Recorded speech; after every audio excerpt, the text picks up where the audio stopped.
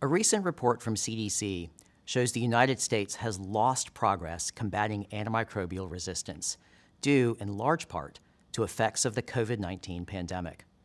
In hospitals alone, antimicrobial resistant infections and deaths both increased at least 15% in 2020 compared to 2019. Most of these infections are preventable. CDC has many resources for healthcare providers like you to help stop these increases, protect patients, and preserve the effectiveness of the antibiotics and antifungals we have today. Hello, I'm Arjun Srinivasan, Deputy Director for Program Improvement in the Division of Healthcare Quality Promotion at the Centers for Disease Control and Prevention. My CDC colleagues and I work to support your efforts to protect patients, protect healthcare personnel, and promote safety, quality, and value in both national and international healthcare delivery systems. Many of us have worked alongside you during the COVID 19 pandemic and seen firsthand or secondhand not only the incredible challenges posed for patient care, but also the heroic ways in which many of you stepped forward to care for those in need. The pandemic undoubtedly pushed providers, healthcare facilities, health departments, and communities near their breaking points. And while many facilities and systems have stabilized, we know that COVID 19 remains a major issue for healthcare delivery. Thank you for your service and dedication. Thank you for your stamina. Thank you for showing up putting yourself in harm's way to help your community, and your willingness to serve even when we didn't have all the answers. And above all, thank you for your patience. You have been asked to bear so much responsibility. I'm here today to remind us all of important actions we can take to maintain our vigilance and prevent the spread of another threat, antimicrobial resistance. This summer, CDC released a special report on how COVID 19 affected the nation's progress on antimicrobial resistance. Antimicrobial resistance, or AR, is when organisms like bacteria and fungi can't be effectively treated with the usually recommended agents, making them harder and sometimes impossible for us to treat. As you know, hospitals saw a much different inpatient population in 2020 than before the pandemic hospitals were inundated with high numbers of sicker patients who have longer lengths of stay and more and longer use of invasive devices like ventilators and catheters. The increased risks for healthcare associated infection, or HAIs, which, of course, drive resistance. And that, combined with factors like limited access to personal protective equipment, lab supply challenges, and reduced staff levels, may have kept healthcare providers from implementing prevention strategies we know work.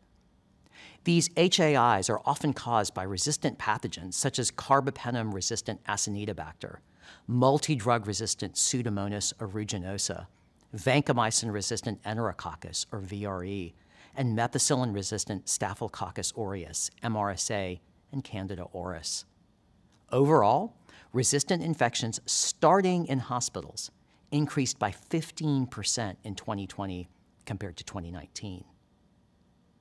This increase is a significant blow, representing at least 29,400 lives lost from antimicrobial resistant infections commonly associated with healthcare. The overall burden of antimicrobial resistance is likely much higher, but the pandemic created data gaps. In a 2021 analysis, CDC reported much of the same that U.S. hospitals saw significantly higher rates of four out of six types of healthcare associated infections, HAIs, during the first year of the pandemic, after years of steady reductions. The rising tide of HAIs will continue to escalate development of antimicrobial resistance unless we act urgently. In addition to a sicker patient population and strains on implementing infection control, CDC data also show that when COVID 19 cases increased in hospitals in 2020, so did antibiotic use.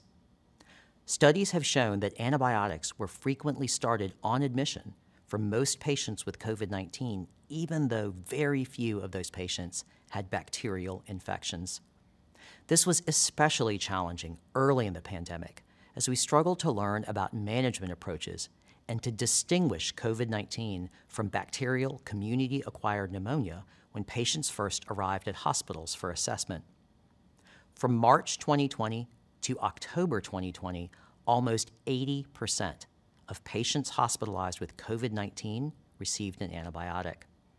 Approximately half of hospitalized patients received ceftriaxone, which was commonly prescribed with azithromycin. We now know that many of these were not necessary and were not beneficial to the patients who got them. Those of us who have the power to prescribe antibiotics and antifungals must remember anytime these drugs are used, they can contribute to the development of resistance. Just as importantly, needless use doesn't benefit the patient, but puts them unnecessarily at risk for side effects like allergic reactions, toxicity that affects organ function, and Clostridioides difficile, which kills nearly 50,000 people per year. We have learned so much about diagnosing and managing COVID 19 in the past two years, and we have seen successful approaches to improving antibiotic use in patients with COVID 19. Our challenge is to continue to apply what we've learned as we continue to treat patients into the future. The good news is we know what works to stop many of these infections from ever happening basic infection prevention and control practices. In fact, from 2012 to 2017, dedicated infection prevention and control efforts and improved use of antibiotics and antifungals contributed to reduced deaths from antimicrobial resistant infections by nearly 30% in U.S. hospitals. The COVID 19 pandemic reversed some of this progress. We must refocus our attention on protecting patients by preventing infections and improving antibiotic use while patients are receiving health care. I'm asking you to remember that antimicrobial resistance was one of the major threats to the safety of our patients before the pandemic. It is not slowing down and has gotten worse while we focused our efforts on COVID 19. We've heard from so many of you about the heartbreaking experience of saving a patient from COVID 19 only to lose them to a healthcare associated antibiotic resistant infection. And while new drugs will help address this challenge, we all know that new antibiotics will not be the primary solution to the challenge of resistance. We have to focus on preventing infections and improving antibiotic use. Here are three steps your hospital can take to protect patients from hard to treat and untreatable infections and to combat antimicrobial resistance.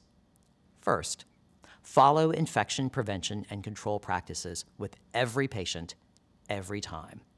This includes keeping your hands clean between patients, asking patients if they've recently received health care to identify who may be at higher risk of infections, and staying informed of current outbreaks. Follow recommendations to prevent device and procedure related infections and make sure environmental cleaning practices are followed for all patient settings. CDC also has new infection control training available for all healthcare workers through CDC's Project First Line. Project First Line has materials you can share with your staff and colleagues so they can recognize infection risks and apply actions consistently and with confidence to protect patients from HAIs and antimicrobial resistance. Second, improve how you prescribe antibiotics and antifungals. Follow clinical and treatment guidelines perform appropriate diagnostic and susceptibility tests to guide antibiotic and antifungal therapy, including correct drug, dose, and duration. Watch for signs and symptoms of sepsis. And report antibiotic use and antimicrobial resistance data to CDC's National Healthcare Safety Network and use that data to inform improvements.